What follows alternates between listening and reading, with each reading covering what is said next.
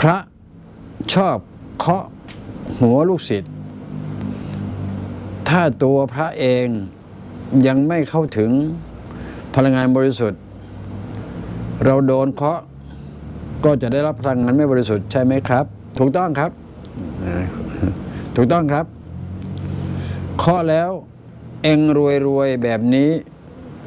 เรากลับจน กูจะให้มึงรวย โดนเคาะเท่ากับเท่าไรแล้วนะกูให้มึงรวยที่นี่คือกูรวยก่อนก่อนมึง ก็ดีนะหลวงพ่อคูณก็ดีไปอย่างท่านรวยท่านก็แบ่งเผื่อแบ่งปันให้เกิดอะไรล่ะ เป็นโรงเรียนเป็นโรงพยาบาลใช่ไหมล่ะ มันก็ไม่ตกน้ำหายนี้ไปไหน มันก็ยังสู่ในชุมชนอยู่เห็นไหมครับ ก็ถือว่าดีก็ยกย่องไป ส่วนที่มันเกินเลยนู่นนี่นั่นก็ต้องไม่ว่ากัน ในส่วนที่มันจ่ายออกไป ก็ถือว่ามีประโยชน์เรามองให้เป็นประโยชน์ใช่ครับประโยชน์ส่วนรวมนะครับยังดีกว่าไปอย่างอื่นครับก็มีอย่างเงี้ยครับเนี่ยก็สังคมไทยสังคมพุทธ ก็มีรูปแบบอย่างนี้แหละ แต่ขอให้ทำจริง ๆ จังๆอะไรทำนองนั้นแหละครับโอเคมาส่วนการที่เขากูให้มึงรวยให้มึงรวยเดี๋ยวผมบอก ผมไม่ใช่อยู่แล้วนะครับ ยังไงผมก็ไม่ยอมรับอยู่แล้วคำนั้นนะครับใช่ไหมฮะบ้านนี้อยู่แล้วรวยเนี่ยผมไม่ยอมรับเด็ดขาดนะครับไม่รู้ไม่ยอมรับเด็ดขาดร้อยเปอร์เซ็นต์นะที่ว่าเลยเออถ้ามีงั้นก็ทำให้สร้างค่านิยมกับลูกหลานไม่ต้องทำอะไรกินอยู่เฉยๆมันก็รวย ใครละหาทีนี้พวกคิดชั้นเดียว พวกเล่นการพนันเนี่ย คิดชั้นเดียวบอกให้ทราบ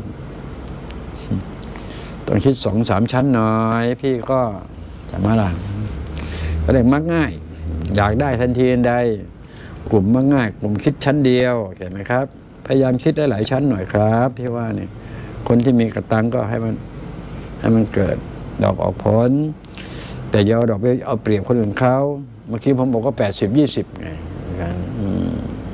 เราลงเงินคนอื่นเขาลงแรง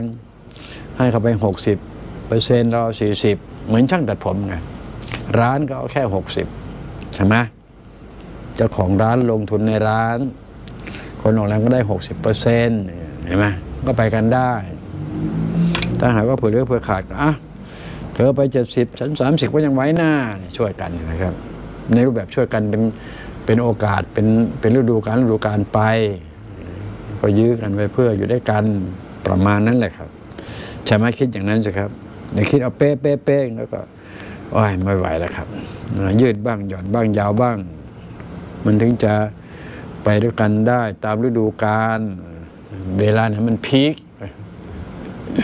ก็ไปตามพีคเวลามันดาวก็ลงตามดาวใช่ไหมล่ะ